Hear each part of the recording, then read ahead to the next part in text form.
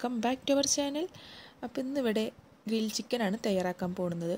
അതും ഓവണും ഗ്രിൽ സ്റ്റാൻഡും ഒന്നും ഇല്ലാതെ സാധാരണ നമ്മളെ വീട്ടിൽ ഉള്ള അടുപ്പിൽ വെച്ചിട്ടാണ് നമ്മളിന്ന് ഗ്രിൽ ചിക്കൻ ചെയ്തെടുക്കാൻ പോകുന്നത്. അപ്പോൾ നമുക്കതെങ്ങനെ തയ്യാറാക്കേണ്ടതെന്ന് നോക്കാം. അപ്പോൾ അതിനായിട്ടുള്ള മസാല ആദ്യം തയ്യാറാക്കിയെടുക്കാം. അപ്പോൾ ഇവിടെ ഒരു കുടം വെളുത്തുള്ളി എടുത്തിട്ടുണ്ട്. ചെറിയ കഷ്ണം ഇഞ്ചി ആറ് പച്ചമുളക്. ഇതൊന്ന് ചതക്കിയെടുക്കാം.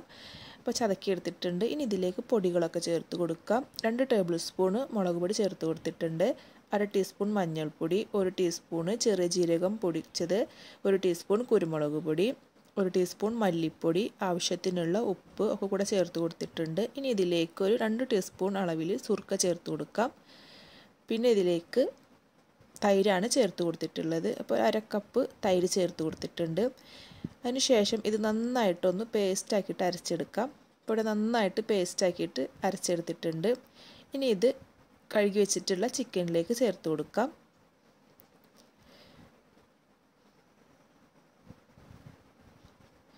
ചിക്കനിലേക്ക് ചേർത്ത് കൊടുത്തിട്ട് നന്നായിട്ട് മാരിനേറ്റ് ചെയ്തെടുക്കാം.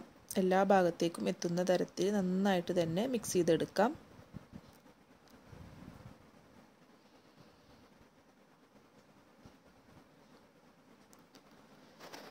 നന്നായിട്ട് മാരിനേഷൻ ചെയ്തെടുത്തിട്ടുണ്ട്. ഇനി ഇത് റെസ്റ്റ് ചെയ്യാനായിട്ട് മാറ്റി വെക്കണം.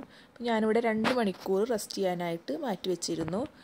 അപ്പോൾ നമുക്ക് ഫ്രിഡ്ജിൽ രണ്ട് മണിക്കൂർ റെസ്റ്റ് ചെയ്യാനായിട്ട് മാറ്റി വെക്കാം.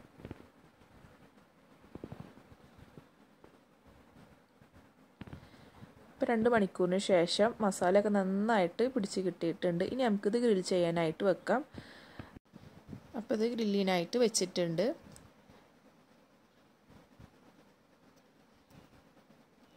ഒരു ഭാഗം ആയിക്കഴിഞ്ഞാൽ അടുത്ത ഭാഗം മറിച്ചിട്ട് കൊടുക്കാം. അപ്പം അങ്ങോട്ടും ഇങ്ങോട്ടൊക്കെ തിരിച്ചും മറിച്ചൊക്കെ ഇട്ടിട്ട് നമുക്കിത് വേവിച്ചെടുക്കാം. അപ്പം ഇനി ഓവണും ഗ്രില്ലൊന്നും ഇല്ല വെച്ചിട്ട് ആരും വീട്ടിൽ ഗ്രില്ല് ചെയ്യാതിരിക്കേണ്ട. സാധാരണ ഒരു പുകയില്ലാത്ത അടുപ്പോ നോർമൽ ആയിട്ടുള്ള അടുപ്പോ മതി. അപ്പോൾ നമ്മുടെ ടേസ്റ്റി ആയിട്ടുള്ള ഗ്രിൽ ചിക്കൻ ഇവിടെ റെഡി ആയിട്ടുണ്ട്. അപ്പോൾ എല്ലാവരും ഒന്ന് ട്രൈ ചെയ്ത് നോക്കി ഫീഡ്ബാക്ക് അറിയിക്കുക. അപ്പോൾ ഈ വീഡിയോ ഇഷ്ടമായി കഴിഞ്ഞാൽ എല്ലാവരും ലൈക്ക് ചെയ്യുക ഷെയർ ചെയ്യുക സബ്സ്ക്രൈബ് ചെയ്യുക. Thanks for watching